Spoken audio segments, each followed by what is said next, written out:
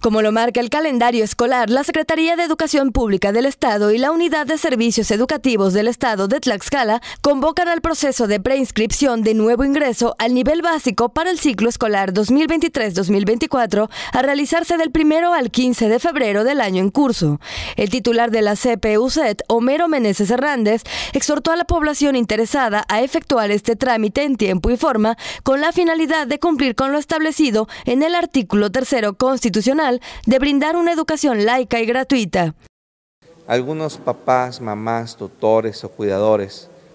aún no dimensionan la importancia de la educación preescolar. En ciclos escolares anteriores eh, se había dificultado la inscripción a primero de primaria sin antecedente. En esta ocasión no va a haber dificultad, pero sí vamos a buscar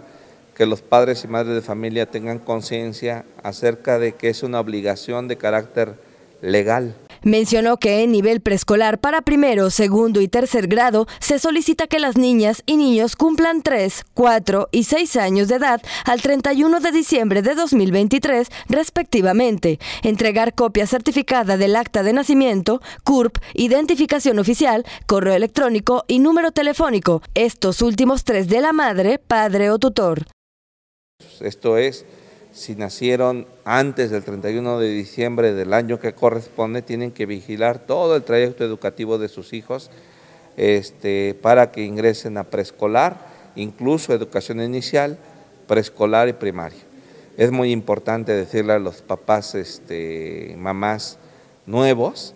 que tengan conciencia de ello. Para ingresar a primer grado de primaria se pueden preinscribir infantes que cumplan 6 años de edad al 31 de diciembre, presentar boleta de evaluación del primer periodo de tercer grado de preescolar, copia certificada de acta de nacimiento, CURP, identificación oficial de madre, padre o tutor, dirección de correo electrónico y número telefónico con quien se establezca comunicación preferentemente. Finalmente, la preinscripción a secundaria general, técnica y particulares incorporadas a la SEP la deben realizar aspirantes que al inicio de del periodo escolar sean menores de 15 años de edad. Además, para ingresar a telesecundaria tienen que ser menores de 16 años de edad, presentar boleta de evaluación del primer periodo de sexto grado de primaria del ciclo escolar 2022-2023, copia certificada de acta de nacimiento y CURP, entre otros. Importante señalar que con la finalidad de salvaguardar la integridad de las y los alumnos, se establece que es responsabilidad de las madres, padres o tutores informar por escrito a la institución